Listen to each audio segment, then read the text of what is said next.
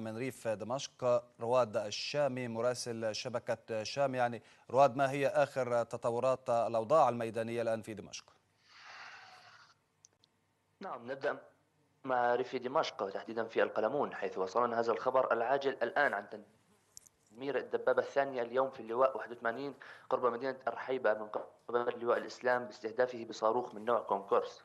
طبعا مدينة جيرود اليوم أيضا تعرضت للحملة الأشرس على مدار اليومين الماضيين حيث شهدت منذ الصباح الباكر عدة غارات من طيران الميج بقنابل فراغية أدت لسقوط أربعة شهداء وبالإضافة إلى عشرات الجرحى طبعا نتيجة استهداف أحد الأبنية بصاروخ فراغي أدى إلى تهدم كامل للبناء حيث أحدث حدث نقص شديد بالدم وأطلقت المشافي في المدينة نداءات للأهالي ونداءات بسبب التبرع بالدم طبعا. نعم نوه إلى أن جيرود هي بلدة تقع بين بلدتي الناصرية وبين بلدة أرحيبة عدد سكانها أربعين ألف بالإضافة إلى سبعين ألف من أخوتنا النازحين نعم.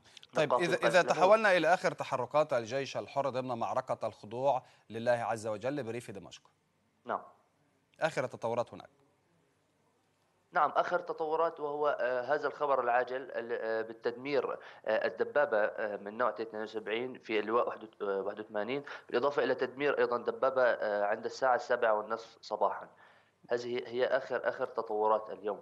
نعم. طيب وتيرة الانشقاقات يعني ربما أخذت بالتزايد هذه الأيام. يعني حدثنا عن هذا الموضوع بالتفصيل. نعم هناك هناك وتيرة الانشقاقات ارتفعت بشكل شديد في هذه الأيام وخاصة في مناطق الزبداني وقرب وادي بردة نعم. أشكرك شكرا جزيلا سيد رواد الشامي مراسل شبكة شام. شكرا جزيلا لك.